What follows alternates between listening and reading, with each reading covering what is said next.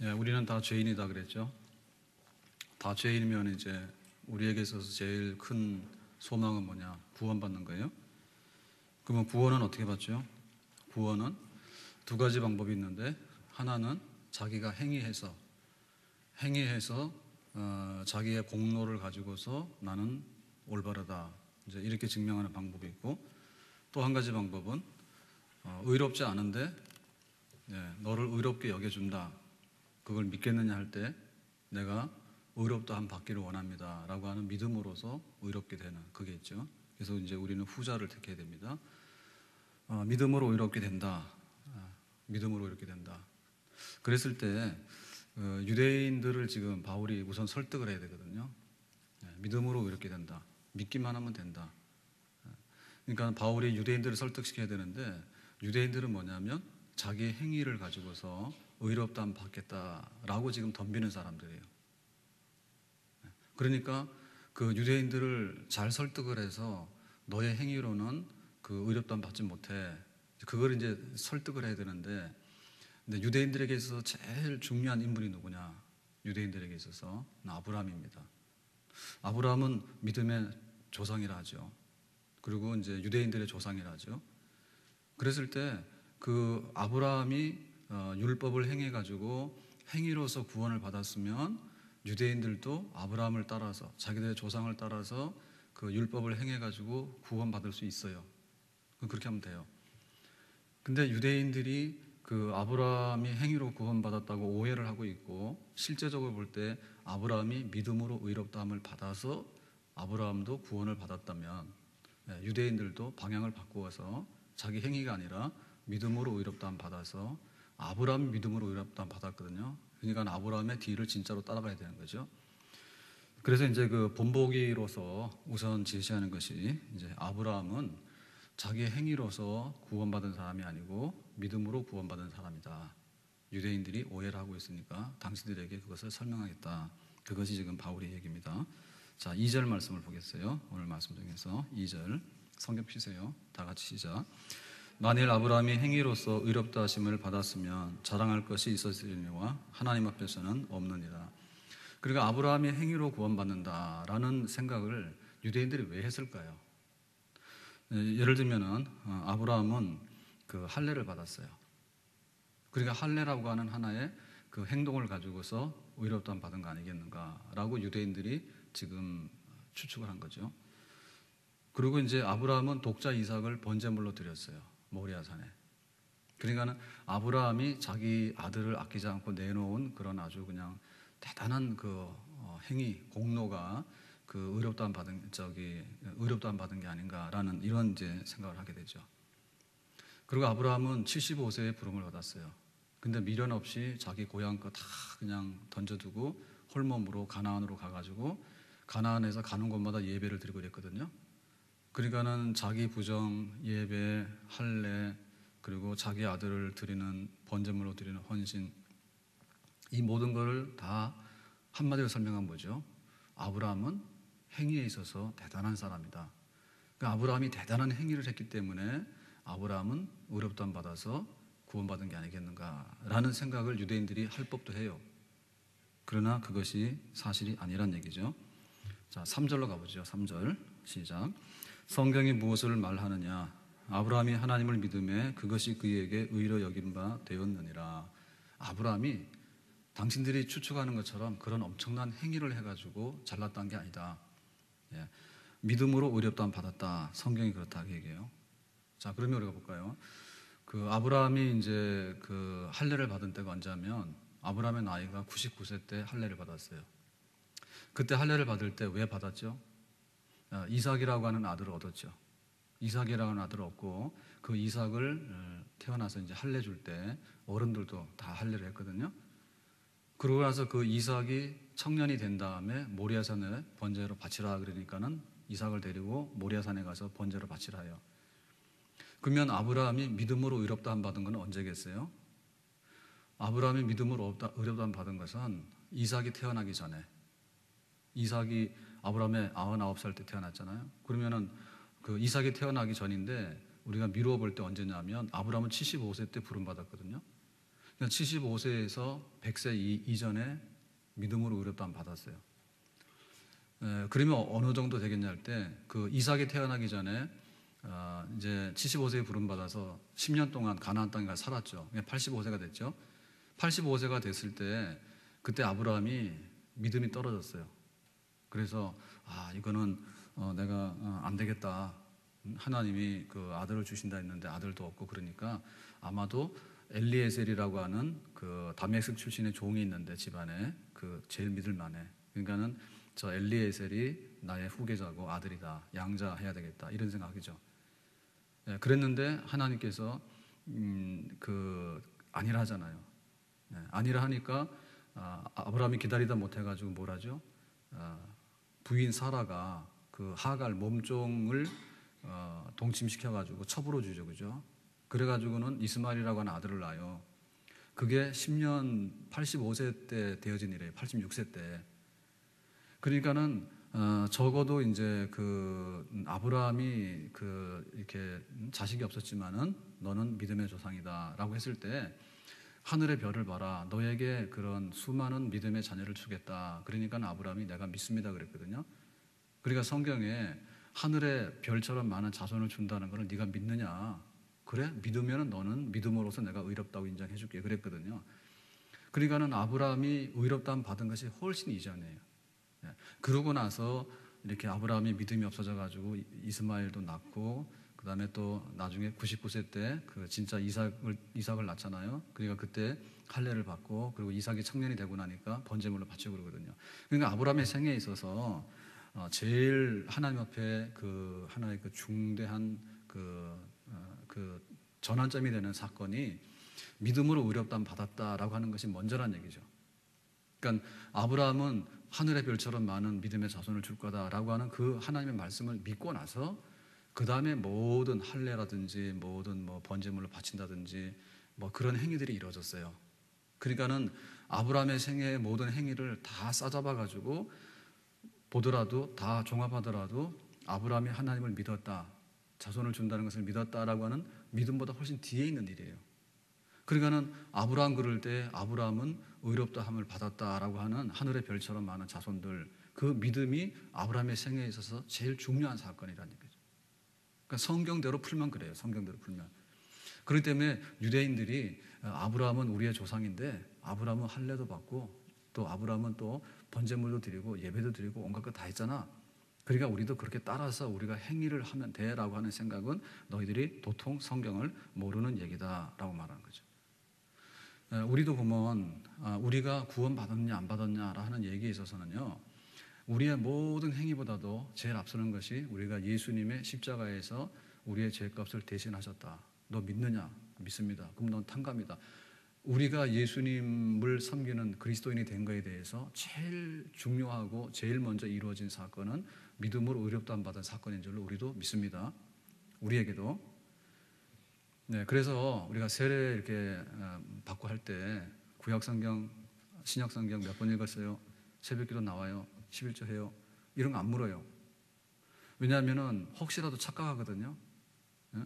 내가 성경을 몇 번 읽으면 세례교인이 되고 내가 새벽 기도를 몇 번 나오면 세례교인이 되고 내가 뭐 헌금을 얼마나 하면 세례교인이 되고 라고 하는 걸 생각하는데 그건 아니에요. 우리가 어, 죄를 씻어서 어, 마귀의 자녀에서 하나님의 자녀가 되고라고 하는 것은 예수님을 믿느냐 정말 나는 죄값이 있는데 내 죄값을 예수님께서 대신해 주셨다 대신 지불한 것을 믿느냐 라고 할 때 예라고 하는 것 그것만 묻고 그걸로 세례를 줍니다 아멘 그렇게 해서 우리가 새로운 생명을 얻고 나면 새로운 생명을 얻고 나면 그 다음부터 걸음마도 하는 거고 뜀뛰기도 하는 거고 그 다음에 가서 이렇게 사춘기 되면 모양도 내는 거고 나중에 결혼도 하고 그러는 거예요. 믿습니까? 그러니까 그런 행위는 후에 나오는 거죠. 우리가 의롭담 받아서 새로운 생명이 있었기 때문에 후차적으로 그런 합당한 행위가 나오는 줄로 믿습니다. 근데 사람이 태어나지도 않았는데 어떻게 그런 행위가 나옵니까? 그러니까 아브라함은 믿음으로 의롭담 받았고 그 다음에 모든 행위들이 나왔다. 우리들도 마찬가지다. 우리에게 있어서도 믿음으로 구원받았고 그 다음에 믿음으로 구원받고 새로운 생명을 얻고 나니까 그 다음에 생명이 있으면은 싹이 나기도 하는 거고 꽃이 피기도 하는 거고 새가 앉기도 하는 거고 낙엽이 지는 것도 되는 거고 단풍도 들고 다 그런 사건이 일어나게 되는 겁니다. 믿습니까? 자, 그래서 사절로 가서 보죠. 사절 말씀 시작. 일하는 자에게는 그 싹시 은혜로 여겨지지 아니하고 보수로 여겨지거나와 그랬어요. 그래서 만약에 그 일하는 것 행위로서 행위로서 그 구원을 받는다라고 할 때 그 행위는 뭐냐면 어, 행위에게 주어지는 것은 그거는 그 임금 수당이고 보수다. 예, 그거는 은혜가 아니란 얘기죠. 예, 그러니까 어, 여기서 이제 그 구분되는 거는 아, 은혜하고 보수인데 여러분 우리가 한 달 동안 회사 가서 월급을 일을 열심히 해서 월급을 받으며 그거는 정당한 보수입니까 아니면 은혜입니까? 예, 정당한 보수에 속하는 겁니다. 왜냐하면 내가 일을 한 대가에 대한 나의 평가를 받아가지고 그 약속대로 내가 돈을 받잖아요. 예, 그거는 물론 주인이 나를 써주니까 고맙긴 하죠. 그렇지만 노동에 관계된 서로 간의 약속에 대한 대가예요. 근데 일을 안 하는 사람에게 내가 당신 월급 주겠다라고 하면 그건 월급 뭡니까? 그거는 은혜입니다. 선물입니다. 구분하시겠죠? 만약에 하나님께서 우리의 행위를 가지고서 우리를 구원한다 하면 어떤 일이 벌어질까요? 내가 오늘 어, 다섯 시간 일했습니다. 다섯 시간 시급 내세요. 아니면 내가 오늘은 열시간 일했으니까 열시간 일한 만큼 돈 내세요. 그럼 하나님 어떻게 돼요? 하나님은 꼼짝없이 내놔야 돼. 예, 그러면 그럴 겁니다. 다음에는 월급 좀 올려주셔야 됩니다. 어, 시급 만 원을 해주셔야 돼. 만약에 안 해주면 나 일안할 거예요. 그러면 어떻게 주인이 벌벌 떨죠. 야, 부탁합니다. 내일 좀 꼭 가서 일해주세요. 막 벌벌 떨 거 아니에요. 그러니까 우리가 그런 그 일하는 행위를 가지고서 행위를 가지고서 하나님 앞에 내가 의롭다함 받는다라고 할 때는 그건 뭐냐면 당당한 거예요. 음, 하나님 앞에서 내가 일했으니까 내놔. 안 내놓으면 당신 막 노동 노동청에다 고발할 거야. 막 이런 거. 아, 우리 그 아주 아주 처음에 여기 아카데미 사무실에 예, 직원을 채용한다 해가지고 광고를 냈어요. 그랬더니 막 왔어. 그래서 한 사람이 출근해가지고 하루인가 이틀인가 했거든요. 그게 첫날인가 이튿날인가 해서 어 이제 가서 국수 먹었어. 밥도 한번 사주고. 아 그리고 그 다음날 왔나 그랬는데 이제 다른 데를 가게 된 거야. 더 월급 많이 주는 데를. 아, 그래서 그런가 보다 그러고 알았지. 그랬더니 막 얼마 있다가 연락이 왔는데요. 뭐 노동청인가 보다 고발한 거예요. 고발해가지고 뭐 이틀치인가 이 원, 어, 일한 거에 대해서 그 수당을 안 줬다고요. 근데 우리는 몰랐어. 달라 하는지도 몰랐어. 예, 그랬는데 막 그런 일이 있었어요. 그래서 놀래가지고 예, 그래서 얼마 하냐니까 다 계산했는데 몇만 원 되지도 않아요. 근데 와서 우리는 막 밥 사줬지, 막 인수인계 한다고 사람이 몇이나 붙어가지고 우리는 얼마나 거기다가 우리의 시간 쓰고 많이 썼는지 몰라. 하든 간에 근데도 그렇다는 거예요. 법으로. 법으로 그렇다는 거야. 어, 우리가 엄청나게 손해봤지, 우리는. 예, 그러니까는 내가 행위로서 하나님 앞에 내가 구원받을 수 있다라고 덤비는 사람들의 그 태도는 그런 거예요. 내가 한 시간 일했잖아. 내나? 안 내놓으면 고발할 거야? 그리고 이거밖에 안 줘? 다음엔 더 많이 줘야 돼? 이런 거예요. 그러니까 주객이 사실상에 있어서는 일을 시키는 사람이 주인 같지만은 일하는 사람이 주인입니다. 어, 내가 뭐 배부르면 안 오는 거고 내가 막 와가지고 막 일을 하면서 뭐라 뭐라고 투정을 부리면 주인이 꼼짝없이 그걸 다 해내야 돼요. 그런 식이에요. 그러니까 그것이 말이 되느냐 말이죠. 그것이 말이 안 되는 얘기죠. 네. 그러니까는 아브라함을 그런 식으로 이해하면 안 된다는 얘기죠. 네. 우리가 하나님 앞에 믿음으로 구원받은 것은 은혜에 속하는 것인 줄로 믿습니다. 은혜라고 하는 것은 원래는 없는 거예요. 없는 건데 거저 주는 거예요. 거저, 거저. 그 우리가 이렇게 마트에 가서 보면 원 플러스 원이 아니면 거의 안 사요. 네. 근데 또 왜 그 마트에서는 원 플러스 원을 합니까? 할 때부터 싸게 사지, 싸게 주지. 꼭 하나씩 끼워서 주잖아요. 근데 이제 가서 이게 보면은 물건 막 사는데 예를 들면 배추 한 포기를 사야 되는 거예요. 배추 한 포기를. 근데 이게 길거리 지나가다 보니까 이, 이 노점에서 아주 어, 굉장히 할머니가 늙은 할머니가 보따리 펴놓고 배추 사세요 뭐 이런 거 하잖아요. 그러면 어떻게 돼? 그거 뭐 우리가 그뭐 그저 저그 마트에 가면 원 플러스 원 하는데 그건 또 하지도 않잖아. 근데 어떻게 보면 싸서 사는 것보다도 뭐예요? 그냥 인정상 사는 거 아니에요? 그래 하세요? 네, 은혜가 있는 사람이네. 인정상 그리고 사는 게 재밌잖아. 네, 흥정도 하고 어, 할머니 이거 어디서 났어요? 할머니가 아마 시장에서 떼올 수도 있어. 시장에서 떼올 수도 있어. 요새는 진짜 못 믿어요. 어, 이말 괜히 했네. 그, 근데 사실 그렇잖아요. 할머니가 농사인 거 봤어, 우리가? 네? 뭐 시골에서 가져왔다는데 그거 봤냐고 사실은 몰라. 그렇지만 거기에 대해서 묻지 않는 거예요. 꼬치꼬치 안 묻는 거예요. 그게 뭐 시장에서 사다가 놓고 자기가 농사했다고 하든지 말든지 우리한테 그 상관이 없어. 예, 그거 상품이 상관이 있는 게 아니고 그 할머니가 이렇게까지 해야 되는 형편이 관심 있는 거지 우리. 그렇죠. 예, 그러니까는 이제 흥정하는 거지. 그러면서 뭐 할머니 어디 살아요 그러면은 어디 산다는데 사실 우리가 가봤냐고 그 집을 예, 모르는 거예요. 그렇지만은 그렇게까지 할 때는 무슨 사정이 있을 거다. 그렇게 생각 들잖아요. 예, 그러니까는 별로 안 묻고 그냥 인정상 가면서 그냥 하나 사가고 그런다 해서 우리가 집에 가서 뭐 손해 보는 것도 아니잖아요. 어차피 하나 살 거니까. 예? 그런 건 뭐냐면 주로 은혜에 속하는 거죠. 이왕이면 그냥 예. 그러니까 우리가 그 나의 행위로서 뭔가를 하나님 앞에 받아내겠다는 생각은 월급 주세요. 이거 이거 모자라요. 다음엔 이거 안 하면 내가 노동부에다 고발할 거예요. 아니면 내가 데모해가지고 노동법 해가지고 막 투쟁할 거예요. 막 아 이렇게 되면은 막 하나님이 쩔쩔매가지고요. 어 감당할 수 없어. 네, 그렇지 않다고 그러죠.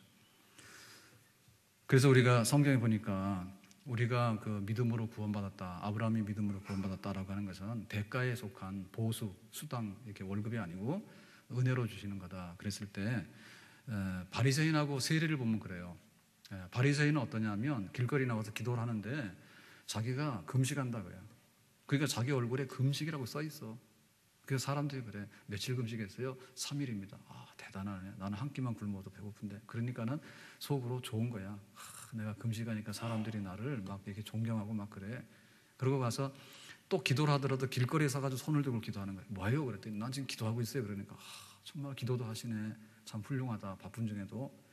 아 이래가지고는 이 바리새인은 뭐예요? 자기 자랑을 하는 거지 지금 금식 기도를 한게 아니라 금식했다고 자랑하는 거고 기도를 한게 아니라 길거리 서가지고 사람들 앞에서 나 기도한다고 막 자랑하는 거잖아. 예? 하나님께서 야 너는 기도를 하는 게 아니라 너의 행동 가지고 자랑하는 거잖아라고 할 때 바리새인의 기도를 잘 안 들어준다 했거든. 그런데 세리는 나와서 어떻게 했습니까? 세리는 나와가지고 주여 내가 참 고개를 들 수 없는 죄인입니다. 예? 고개를 들 수 없어요. 그러니까 주여 알아서 처분해 주시고 할 수만 있으면 살려만 주시면 고맙겠습니다. 이러는 거예요. 그러니까는 하나님께서 그 세리의 기도하는 모습을 볼 때 뭐라 해요? 예, 내가 너에게 은혜를 베푸고 싶다. 그런 거죠. 예, 바리새인이 잘난 척하면요 하나님 따질 거예요. 예, 너는 너는 그거는 그랬지만 이거는 왜 그러냐고 지금 네가 하고 있는 것도 사람들 들으라고 하는 얘기지 그게 나한테 하는 얘기냐 하나님 막 따지실 거예요. 그러니까 우리가 행위 가지고 하나님 앞에 나가면 하나님 못 당해요. 그런데 내가 아, 순전하게 죄인입니다. 내가 부족하니 나의 있는 그대로를 받아주시면 고맙겠습니다. 그렇게 나가는 그 순전한 믿음에 대해서 하나님께서는 대단히 기뻐 받아주실 줄로 믿습니다. 아, 여러분 그 은혜로운 거, 호의로운 대접을 받은 거요. 어디까지 받아보셨어? 어디까지?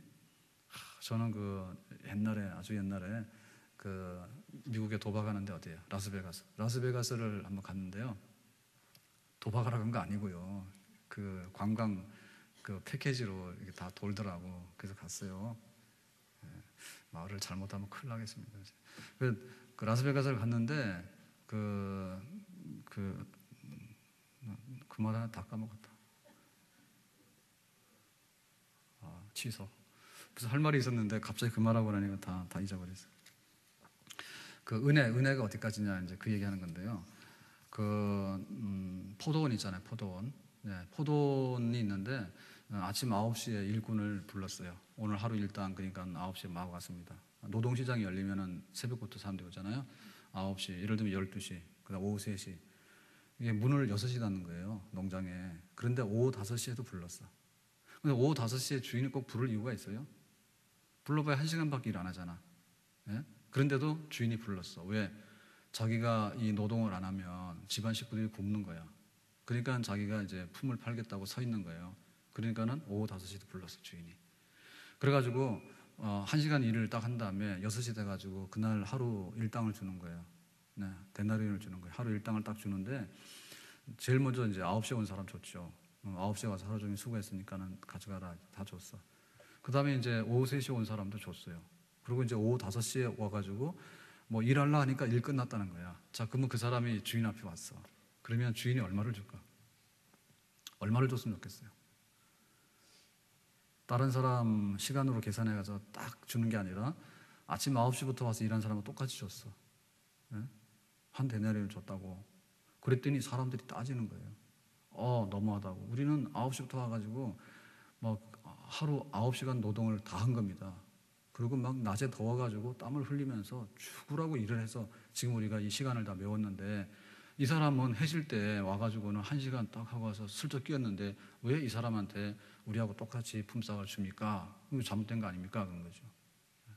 이게 잘못된 거예요. 그 9시에 와서 따지는 사람이 있잖아요.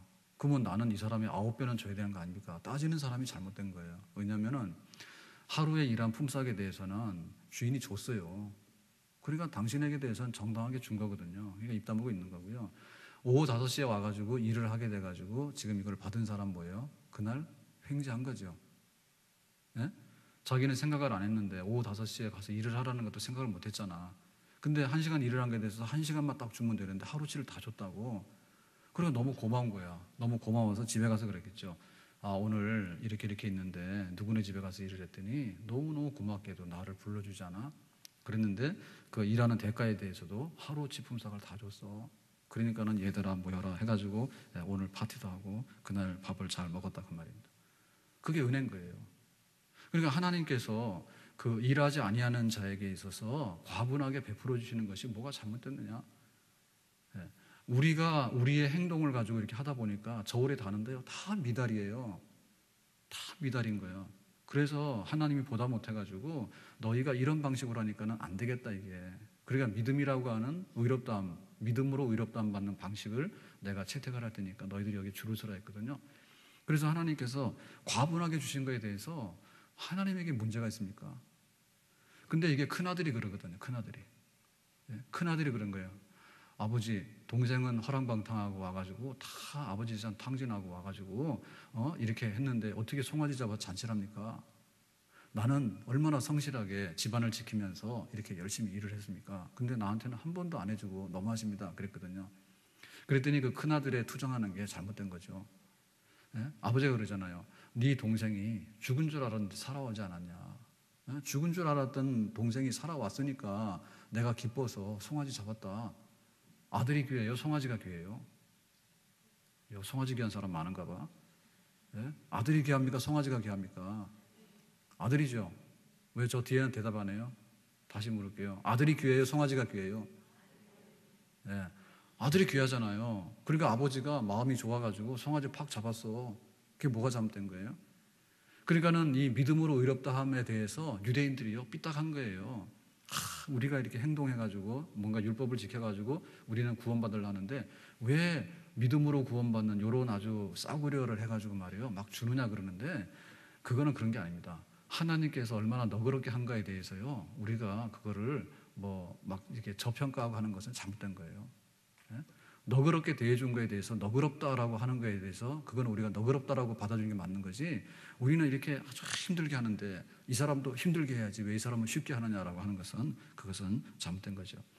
아, 하나님의 은혜로 있을 데 없는 자 왜 구속하여 주는지 난 알 수 없도다. 그러니까 하나님 앞에 구원받은 것에 대해서 감사해야 되죠. 네? 그렇게 거저주시는 그런 믿음의 의로서 구원받은 것에 대해서 감사하면 우리가 마땅한 그런 태도인 줄로 믿습니다. 그 무비보셋이 다윗 왕 앞에 불려갔죠. 그랬더니 예, 처음에는 막 떨었습니다. 예, 우리 할아버지가 우리 할아버지가 사울 왕인데 사울 왕이 다윗을 죽이려고 얼마나 그랬어요. 그리고 어느 날 다윗이 자기를 부르는데 자기 쩔뚝발이요. 그래서 아 이게 올 게 왔구나.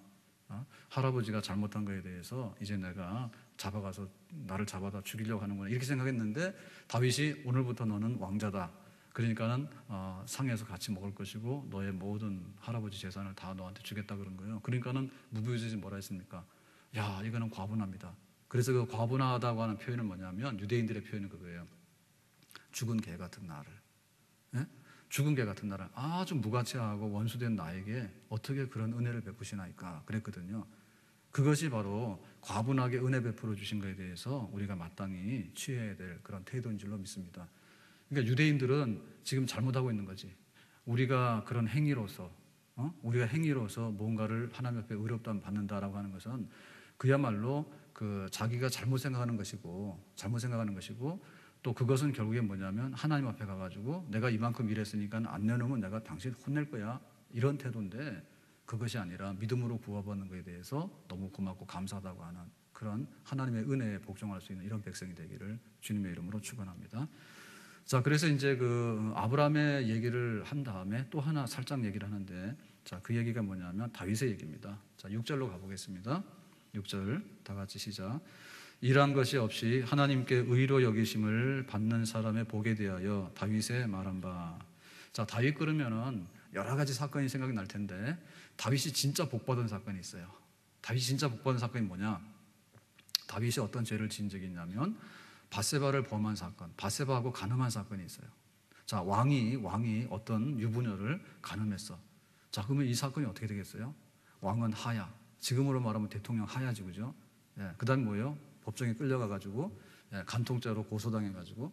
근데 다윗이 그것만 저질렀냐면 그게 아니라 간음죄에다가 또 뭐 했어요? 그 유부녀인데 그 남편이 있죠. 그 남편을 전쟁터에 내몰아가 죽였잖아. 그 남편이 우리아입니다, 우리아. 근데 그 우리아라고 하는 충성스러운 그 군인을 갖다가 전쟁터에서 앞장 세워가지고 일부러 고의적으로 죽게 했어요. 그 다음에 뭐예요? 다윗은 자기가 이런 일이 없었다라는 식으로 해가지고 은폐하죠, 그죠? 사실은 요압 장군을 시켜서 한 거 아니에요? 예. 그러니까 다윗은 막 그 잘못된 것을 은폐하고 또 이렇게 조작하고 지시하고 간음하고 살인하고 그러니까 다윗이 그 바세바 사건에 저지른 죄가 엄청 많아. 예. 그랬는데 그랬는데 하나님께서 그 바세바 사건에 대해서 다윗이 회개할 때 어떻게 했습니까? 회개할 때 다 용서했다 그랬거든요. 그게 다윗이 받은 최고의 복이에요. 최고의 복이에요. 우리가 이렇게 하나님 믿으면서 내가 복 받았다고 생각할 때 우리가 복 받았다고 생각할 때 우리는 주로 어떤 생각을 하냐면 이래요. 돈으로 계산하는 습관이 있어요. 예? 돈으로 계산하는 습관이 있고요. 그 다음에 또 뭐가 있는가 하면 예, 뭐가 재소가 좋았는가 이런 거, 예, 이런 거. 그러니까는 어, 눈에 보이고 손에 잡히는 거 이런 거에 대해서만 우리가 복이다라고 생각하는 그런 경향이 다분히 있거든요. 근데 그 복 중에 복은 뭐냐면 어, 너가 죄가 있는데 너 죄 없다라고 하는 거. 예, 그거 제일 큰 복입니다. 만약에 우리가 그 재벌들이 있는데요. 재벌들도요. 구속당해가지고 감옥에 가 있으면 신세가 처량합니다. 예? 그러니까 우리의 그 범죄 사실이 없을 때는 내가 건강하고 돈 많고 잘생기고 막 이런 것이 다 복입니다. 내가 범죄 사실이 없을 때는. 근데 지금 내가 범죄 사실이 있어가지고 잡혀가서 형을 살아야 되고 사형을 당해야 돼요. 예? 그랬는데 우리 자식이 잘 되고 뭐 내가 돈 좀 가지고 있으면 무슨 소용이 있어요. 차라리 내가 뭡니까? 너는 석방이야. 라고 하는 것이 해결이 돼야지 그 다음에 이 모든 것이 나에게 진짜 복으로 느껴질 줄로 믿습니다. 그러니까 다윗이 그 어, 하나님께 복을 받았는데 너는 죄인인데 다윗이 회개하니까 어, 믿으니까 죄 죄를 고백하고 죄 사함을 믿으니까 너는 죄 없는 사람이야 라고 했거든요. 그러니까 다윗이 하나님 앞에 의롭다함 받은 것은 자기의 죄를 고백하고 자기의 죄를 씻음 받은 것 그것이 바로 다윗이 받은 가장 큰 복인 줄로 믿습니다. 자, 그래서 7절에 그랬어요. 7절에. 자, 시작.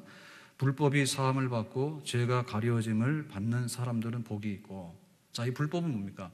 불법은 율법의 항목이 있거든요. 간음죄, 살인죄, 뭐 도둑죄라는 죄, 뭐 위증하는 죄, 뭐 온갖 죄가 있단 말이에요. 그, 그 죄의 그 항목 있죠. 그 항목에서 잘못된 거, 그거를 용서받아. 네, 너는 법 1항, 2항, 2항, 3항을 다 어겼어. 근데 그거 다 용서. 이런 거죠. 그 다음에 죄가 가려지면 뭐예요? 가려진다는 얘기는 항목별로 용서받는 게 아니라 옷 입듯이 덮어버린 거예요. 그러니까는 막 사람이 죄가 많으면 죄를 나열할 수도 없어. 여러분 우리가 지은 죄가 하나님 보실 때 얼마나 많은지 알아요? 우리가 깨닫는 거는 백이 하나도 안 될걸. 그러니까는 첫 번째 용서, 두 번째 용서 이러다 보면은 용서 안 받는 항목이 너무 많다고. 그러니까 아예 옷으로 덮듯이 그냥 이불로 팍 덮어버렸어. 여기 있는 건 여기 있는 건 쳐다보지 않아. 그리고 팍 덮어버렸어. 하나님께서 우리에게 그러한 죄 사함을 준 줄로 믿습니다. 안 덮었으면 안 돼요. 하, 이거 겨울이라서 추운데 근데 아, 참 그렇다니까요. 예. 예, 장갑을 안 끼면 손이 시렵고 아, 또 양말이 부실하면 신발이 부실하면 또 발가락이 시렵고 그래가지고는 이제 손발 다 하고 나면 그 다음에는 뭐예요? 그 다음엔 또 여기가 좀 그렇죠. 그러면 또 여기다 마스크를 또 딱 쓰고 결국에 남아있는 건 뭐예요? 눈밖에 안 남잖아. 눈, 모자 다 뒤집어 쓰고. 아, 그럴 것 같으면 뭐예요? 그냥 이불 푹 뒤집어 쓰면 되지. 예? 이불 다 뒤집어 쓰면 그냥 한 번에 다 되잖아. 그런데 뭐 여기도 맞고 여기도 맞고 다만 아 힘들다. 그러니까 그냥 죄를 그냥 가려버렸어. 다윗이 지은 죄가 한둘이겠냐고. 예? 그러니까 우리는 그래요. 내가 지은 죄가 한 세네 개 되는데 그거 하나님이 용서해 주셨대. 그것만 가지고 안 됩니다. 셀 수 없는 죄가 돼. 덮어버려. 자, 그 다음에는 8절에 보니까 이렇게 기록하는 8절. 다 같이 시작. 주께서 그 죄를 인정하지 아니하실 사람은 복이 있도다 함과 같으니라. 자, 여기 보니까 뭐예요? 죄를 인정하지 않는데요. 죄를 인정하지 않는다는 말은 뭐죠? 도말한다. 탕감해서 말소시킨다는 말이죠. 그러니까는 이 범죄자들이요, 저 굉장히 어려운 건 뭐냐면 자기가 남의 물건 훔치다가 감옥 가서 3년 형을 살고 왔어요. 죄값을 다 받았잖아. 근데 그 흔적이 남잖아. 그리고 어디 가면은 자기가 그 떳떳하지 못한 거예요. 옛날에 전과. 예? 옛날에 전과가 있어가지고 흔적이 남은 거야. 두둑 남아가지고는 도대체 이것 때문에 자기 약점이 되는 거잖아요. 예? 그러니까 정상적인 이게 인간 대접 못 받고 사회생활 못 해요. 그러니까 거기서 제일 필요한 게 뭐냐면 그 과거에 대해서 그냥 도말하는 거예요. 다 없는 걸 해주는 게 제일 큰 거예요. 그러니까 그 얘기입니다, 지금. 사함을 받고라고 하는 것은 항목별에 없애는 거고요. 그 다음에 덮어버렸어요. 가린다 아니라 덮어버렸어. 그러니까 덮다 덮다 안 되니까 뭡니까? 나중에는 그냥 없는 걸로 다 지워버렸어. 하나님께서 다윗을 그렇게 해주신 줄로 믿습니다. 나중에 지우는 게 제일 깨끗하게 지웠어. 흔적도 없어. 그러니까 우리가 하나님 앞에 나갈 때 얼마나 더럽고 추합니까? 근데 예수님의 십자가의 피를 의지하고 나가게 되면 하나님께서 우리를 깨끗하게 씻어가지고 정말 어, 성결하고 향기로운 그런 주의 백성으로 다시 거듭나게 태어나게 한 줄로 믿습니다. 우리 집에 있는 아이들도 그렇잖아요. 집에 있는 아이들도 나가서 막 이렇게 하고 와가지고 더러우면은 그래도 귀엽긴 한데 그래도 안 돼.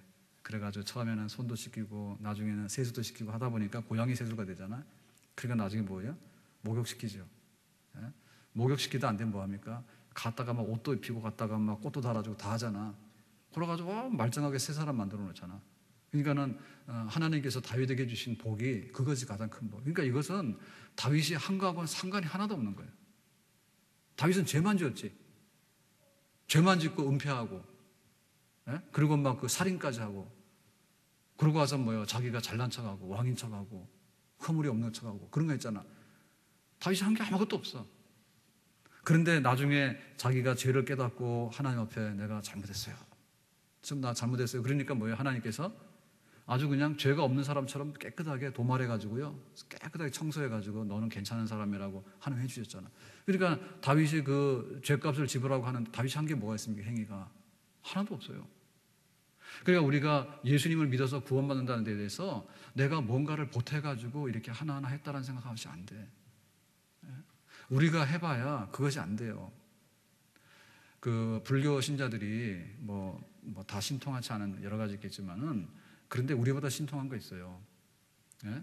그 어, 목욕 제기한다고 새벽에 나가서요, 뭐 불공 드리고 이런 이런 사람들의 정성이 우리보다 나아요. 저는 볼 때 새벽에 교회 나오신 분들이 그 세수도 잘 안 하고 나올 걸. 예, 안 나오시는 분들은 뭐예요? 안 나오신 분들은 배째라 그거 아니에요? 지금 자고 있는 거 아닙니까? 근데 깨서 나오시는 분들도 사실은 세수하기 어렵고 세수는 한지 몰라도 머리 안 감잖아 새벽에. 예? 그러니까는 얼마나 그래. 그런데 그 막 불공들이 그런 사람은요 부정 탄다 해가지고요 막 목욕제기하고 그런다니까.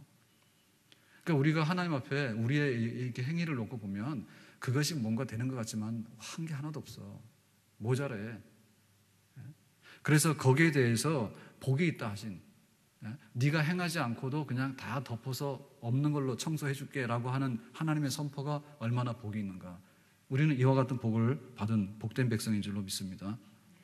그러니까 이것은 우리의 어떤 감정 가지고 따지면 안 돼요. 뇌가 죄가 있는 것 같다, 혹은 죄가 없는 것 같다. 그런 감정으로 따지면 안 돼. 예? 그러니까 어떤 사람은 남의 소도 잡아먹고요. 없는 척이에요. 근데 어떤 사람은 괜히 물 한 그릇 안 주고도요. 아, 내가 못 준 것 같아. 미안해 그런다. 그건 죄의식이거든요. 그러니까 그건 우리의, 우리의 감정에 따라서 하면 안 돼. 예? 우리의 감정에 따라서 하면 안 되고, 혹은 내 생각 기준으로 가지 하면 안 돼. 어떤 사람은 생각 기준이 굉장히 높아. 어? 생각 기준이 굉장히 높아. 근데 어떤 사람 생각 기준이 굉장히 낮아.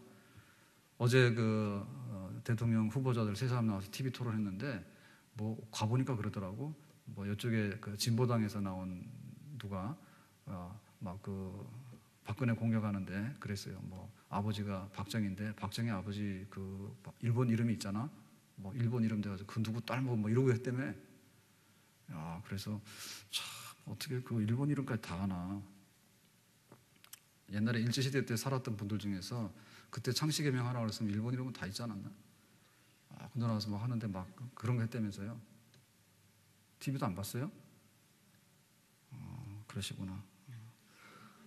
그러니까는 우리가 볼 때 그 어떤 기준이 있는데요. 그래도 어 그뭐 박정희 그러면 박정희 이렇게 부르는 사람이 있는가 하면 박정희라고 안 불러. 박정희 옛날에 막 그 친일했다 해가지고 그 일본 이름으로 막 갖다 불러버리는 거예요. 그러니까 한 사람의 평가를 보고 얼마나 달라. 예? 얼마나 달라.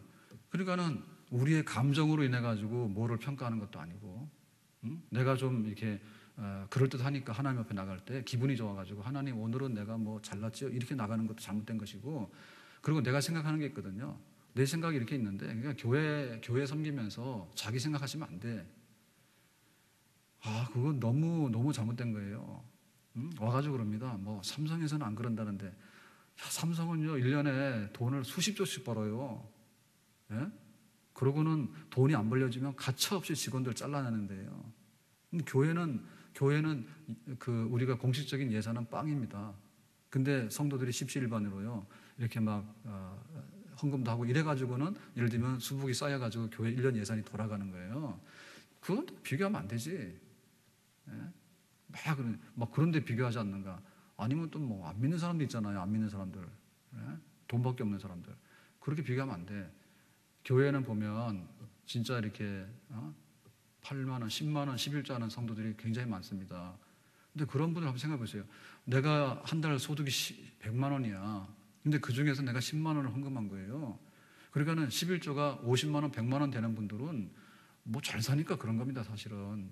그런데 최저 생계비도 안 되는 그런 거를 가지고 만약에 그것이 정직한 11조라 한다면요. 정말 하나님께서 볼 때 얼마나 기뻐하실까? 믿습니까? 예? 10만 원 11조라면 내 내 한 달 생활비가 다 수입이 100만 원밖에 안 된다는 뜻 아니에요. 그런 성도들 많다니까. 그런데 그런 거를 귀하게 되는데요. 하나도 안 하는 분들이 와가지고 그럽니다. 교회는 뭐 선교도 해야 되는데, 그리고 교회는 구제 사업도 해야 되는데, 그럼 목사님은 뭐 먹고 산대? 예? 그래서 지금 막 그래요. 주일날 교회 이거 만나홀에 국수도 돈 받자고 어, 막 그럽니다 지금. 아니 우리 성도들이 그래요. 왜냐하면은 무슨 얘기인지 아시죠? 예, 막 11조 5만 원 해가지고 10만 원 해가지고 그거 다 운영하는 거예요. 근데 자기는 말이요 수입이 뭐 500만 원, 1000만 원 되면서요 와가지고요 국수 내놔라 그러고 어떤 나가서 맛없네 그러고요 막 그러고 합니다. 그러니까 막 교회에 대해서 생각이요 너무 천차만별한 거예요. 예? 그래서 막 있는 거 없는 거 다 해가지고 그거 하려고 대접하려고 몸으로 봉사, 물질로 봉사 이런 성도들 때문에 교회 굴러가 와가지고는 자기는 얼마나 막 가진 게 많은데 와가지고 국수가 맛이 있느냐 없느니 아 우리 국수 정도면은 대한민국 국수 중에서 교회에서 먹는 국수 중에 최상급이요. 아세요? 네? 와가지고 그럽니다. 그리고 또 어떤 날은 그런다 그러죠. 네, 국수는 매일 나오니까 지루하니까 뭐 떡국이나 뭐나 한 번 나오면 그날은 또 줄이 더 길대지. 또 입맛까지 알아가지고. 네? 아, 그거 생각을 한번 해보세요. 그러니까는 우리의 생각 가지고 내가 하나님 앞에 이만큼 하면 된다, 안 된다, 다 잘못된 거라니까. 우리가 한 거는 몽땅 없어. 우리가 한 건 몽땅 없어. 하나님이 우리를 잘 봐가지고 천국에다 집어넣어주고 내, 내 아들, 딸로 삼아주실 근거 하나도 없어. 하나도 없는 거예요. 그런데 우리의 노력과는 상관없이 하나님께서 우리를 의롭다 해주시니까 얼마나 고맙고 감사한 일인가 믿습니까? 오늘 말씀 맺겠습니다. 자, 퀴즈를 내겠습니다. 구약 시대에는 행함으로 구원을 받았다. OX. 다시 구약 시대 때에는 행함으로 구원을 받았다. OX. X? 네, 답입니다. 아브라함은 행함으로 구원을 받았다. OX. X. 오늘 한 시간 내내 한 게 그거예요, 지금. 아브라함은 행함으로 구원받다는 게 아니에요. 자, 유대인들은 행함으로 구원받을 수 있다. OX. X 없어요. 예, 무조건 틀렸다고 그건 다 맞는 거예요. 자, 그러면은 믿음으로 구원받는다는 것은 구약 성경에 나오는 근거 있는 진리이다. OX. 오, 이것도 X하면 틀려. 이거는 맞는 거예요. 그러니까 믿음으로 구원받는다고 하는 것은 신약 시대 때 예수님이 오시고 나서 십자가에 죽었기 때문에 우리한테만 해당되는 건 아니에요. 그러면 성경이 짝퉁이게 구약은 뭐고 신약은 뭐예요? 여러분 약이라고 하는 것은요. 약이라고 하는 것은 언약 약속의 테이스먼트예요. 약속인데 유언입니다. 유언. 유언인데 구약 옛 언약하고 새 언약하고는 별개 게 아니에요. 그러니까는 신약 시대 때는 예수님이 사랑에 말아 가지고 구원받지만 구약 시대 때는 흉악한 시대였기 때문에 그렇지 않다라고 생각하는 오해다. 예. 우리가 믿음으로 구원받는다고 하는 거 근거가 있어야 되는데 우리가 믿음으로 구원받는다는 것은 아브라함도 그랬단 말이죠. 다윗도 그랬단 말이죠. 행한 게 뭐가 있어요? 행한 게 행한 거 없어요. 그런데 하나님께서 불쌍히 여겨 주시고 긍휼히 여겨 주셔서 예. 그들을 구원하기로 기뻐하셔서 믿기만 하면 내가 너희들을 의롭다 하겠는데 이것조차라도 너희들이 받을 수 있겠느냐라고 하나님께서 하신 것이지. 예. 그래서 우리가 믿음으로 의롭다함 받은 줄로 믿습니다. 그러니까 믿음으로 의롭다함 받은 것은 아브라함도 믿음으로 의롭다함 받았고 다윗도 믿음으로 의롭다함 받았고 구름같이 허다한 우리 앞서 있는 모든 믿음의 조상과 선조들이 몽땅 다 믿음으로만 구원을 받은 줄로 믿습니다. 아멘. 이 복음이에요. 예. 교회가 이 복음을 딱 가지고 서 있고요. 우리가 자랑할 건 이겁니다. 아, 목사님 전도하기 어려워요. 여러분 전도하기 어려운 게 있습니까? 지금까지 우리가 호의로운 대접 받아봤는데 받아본 게 어디 있어요? 우리가 받은 게 호의로운 대접이 뭡니까? 아, 라스베가스 아까 그 얘기다 말았는데 라스베가스 가면요 그 1달러 가지고 이거 넣어 가지고 막 이렇게 하고 그러는데 그 호텔비가 뭐 굉장히 싸요 호텔비가 예, 그래서 그 어마어마한 호텔에 이렇게 막 하룻밤 자는데 보통 같으면 몇십만 원 해야 되잖아요 근데 뭐 그 돈 만 원도 안 할걸요 그렇다 그래요. 그러니까 가이드들이 글로 가는 거야. 예, 글로 가면 자기들이 돈 벌잖아. 호텔비 다 받아놓고 여행비에서는 그리고 돈만 원 내면은 그날 잠자고니까. 근데 호텔에서 얼마나 관용을 합니까? 예, 라스베가스 가지 마세요. 반값 싸다고 거기 가서 큰일 나. 다 털려.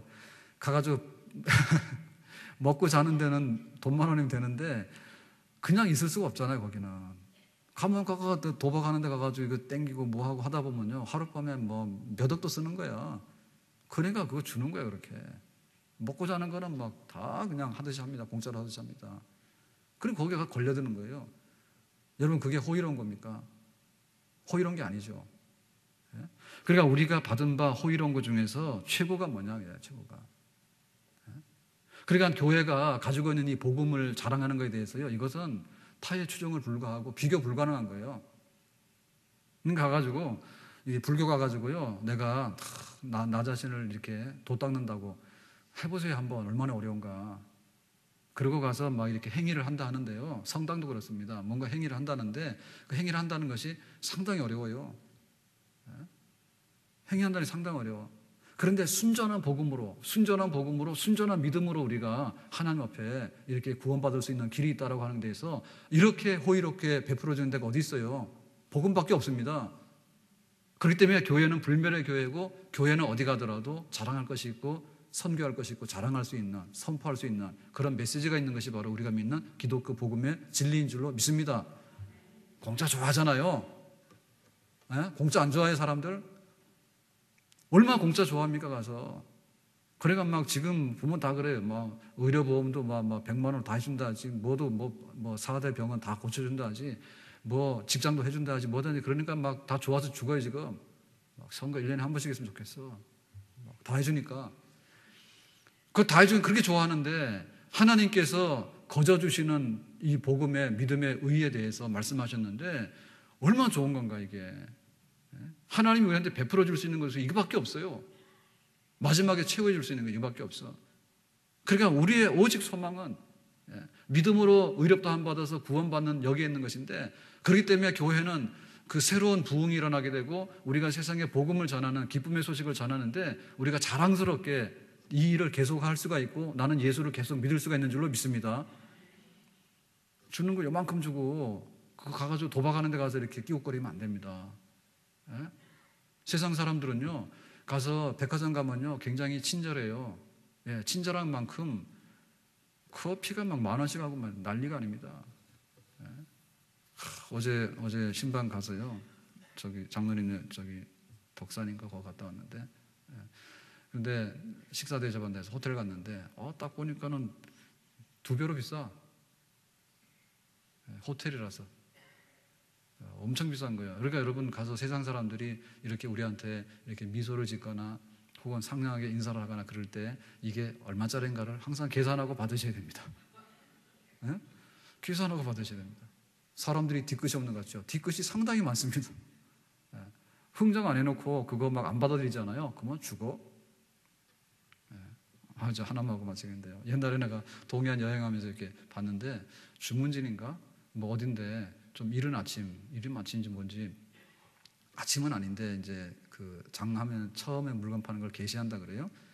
아 그랬는데 어떤 남자가요 끼웃거리다가 거기 이렇게 그 생선 넣고 그 파는 분 있잖아 회, 회 횟감하는 거 그건가 봐. 그랬는데 이거 얼마요 그러고는 안 사고 얼마요고 안 샀거든요. 딱 세 번 물었어요. 그리고 안 샀어요. 그랬더니요. 그 이거 보세요. 막 이렇게 하던 그, 그 아주머니는 아니죠. 할머니 비슷한 분인데요. 그 남자한테 욕을 하는데요. 내가 여기서 다 못 하겠어요. 와, 한 세 번인가 가지고 안 하잖아요. 그래서 막 처음에는 권하더니요. 그거 안 하고 딱 돌아서니까요. 막 있는 없는 욕을 다 합니다. 그냥 재수 없다고 아침부터. 와, 그러니까 여러분 그런 데 가서 얼짱거리면 안 됩니다. 네. 그러니까 세상에서는 거저주는 것 같지만 거저주는 게 없어요. 하나님이나 거저 주시는 거예요. 왜냐하면 그걸 줄 수 있는 분이기 때문에 가진 것도 많고 성품도 넉넉하시기 때문에 예수 믿고 구원받는 이 구원의 진리를 자랑스럽게 생각해서 이거 아브라함이 그 유대인들이 착각했던 것처럼 그렇게 우리가 이렇게 잘해서 뭔가를 이렇게 행위를 해가지고 뭔가 되겠다라고 하는 그런 생각은 아예 버리시고 순전한 믿음 안에서 감사하고 주님을 잘 섬길 수 있기를 주의 이름으로 축원합니다. 기도합시다. 이따가 좀 말씀 기억하면서 어, 믿음으로 구원받은 거 고맙고 이, 이 기쁨의 복음이 교회 안에 충만할 수 있기를 그리고 우리 가족과 이웃에게 전파될 수 있기를 기도합시다.